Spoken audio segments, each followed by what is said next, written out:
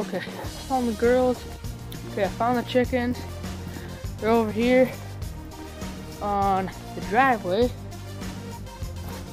Today I just want to come out, make a video, and why I've decided to restrict my hen's diet a little bit and um, the way I'm gonna do it. So as you can see here, snow's melting. You can maybe hear the gutters, the gutters dripping. Snow's melting. It's pretty warm outside today. Um, for Wisconsin, I'll say that pretty warm outside today. Um, if you live in the northern states, if you live in the southern states, you'd probably be shivering. But pretty warm outside today. The chickens are eating grass. That's right, they're eating grass. And whether they're eating grass, they're eating green grass. There's there's some green there's some green plant growth, you guys. This grass starting to grow because as soon as it's exposed to sunlight, it's gonna start to grow. So they're getting green grass in their diet. So they're not gonna be as hungry, they're not gonna be eating as much feed. They still need about the same amount of feed, but um, they're not to be needing as much feed, especially now that we have grass starting to grow. So the reason I'm to restrict their diet is because laying hens, um, laying hens, they tend to get um, cancer.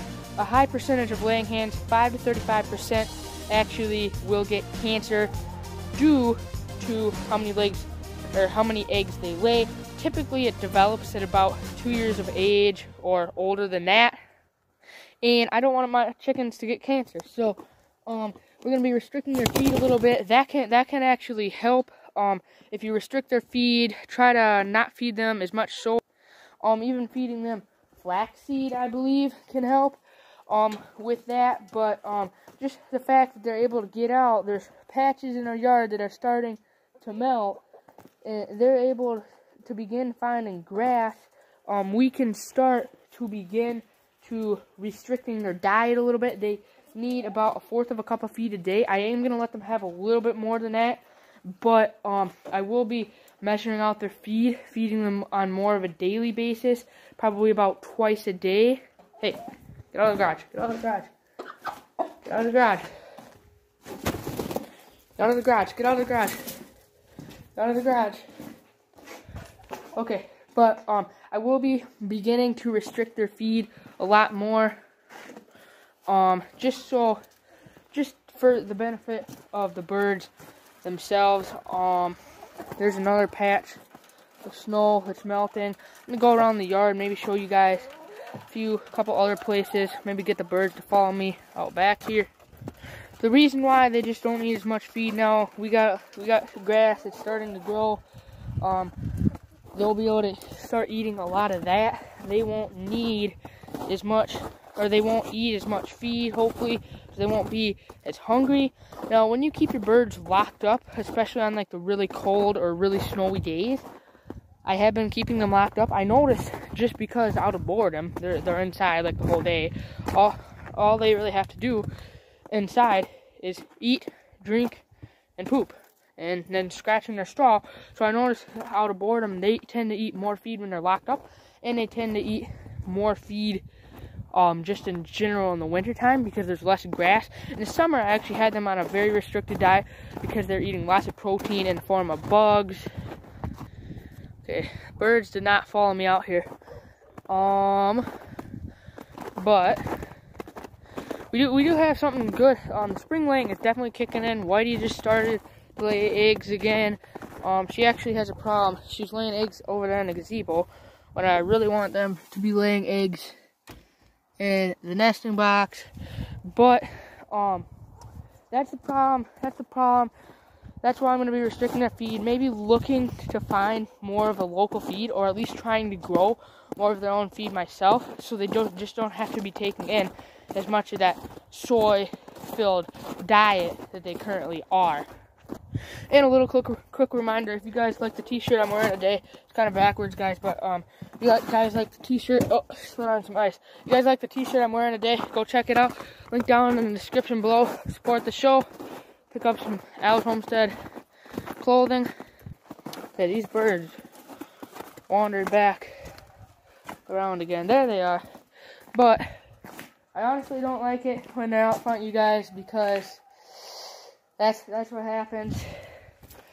This is what happens when they're out front. They scratch all the mulch out. But as you can see here, right down here, they are eating this grass. This grass is getting eaten, and I can see now it's been exposed for a couple of days. This grass is starting to shoot up some new blades. Grass is long we've had above freezing weather for a couple of days now. And with this kind of weather, this is just like prime weather for grass to grow. You guys check out that gra grass, but um, it's like the prime weather for grass to start growing. So the grass is growing. The chickens are maybe a little more happy. Come here, Henrietta. Come here. And Henrietta's been laying some eggs recently too. So shout out Henrietta here. Okay, so um the birds have been eating more grass as you can see. Oreo is right down there. But my point is, I'm just going to try to get the birds on more of a restricted diet, measuring out their feed and feeding it to them more on a daily basis like I was this summer because otherwise I've been noticing they eat a lot more feed when they just have free choice. They can just go eat, eat, eat, eat, eat. They're like a bunch of hungry little hippos. That's what I call them, hungry hippos. Hungry hippos. Oh, this is kind of mucky in here. Okay, guys, another big, another big grass patch opened up right down there. Um, the chickens kind of, this is how the chickens get out front, I think, most days. They wander around the side of our house here. You guys look at that. That drain pipe is dripping. All the snow is melting. Um, but it's February. Like I call, like I say in Wisconsin, this isn't spring. This is fake spring. Then we get the second winter after this. Probably won't be spring till April. Who knows? I think it'll be a little earlier this year, but again, it's Wisconsin. There's no guarantee. So chickens are out enjoying the grass. Um, this is kind of the time of year where it'd be neat to have an electronet. I can control where they're eating a little bit easier. Um, basically, that's how they get out here. They creep around. They go. They go under the bush. They get on the sidewalk, and then they're out here. There's Henrietta and cackle. But anyway, I just want to put this little video out today, guys. Why I'm restricting my hens' diet. Um, I just caution you guys about feeding your hens too much soy, um, because they can get cancer, especially the chickens that are going to lay a lot of eggs. So I would say these chickens lay lay a fair amount of eggs, um, probably around 250 eggs a year.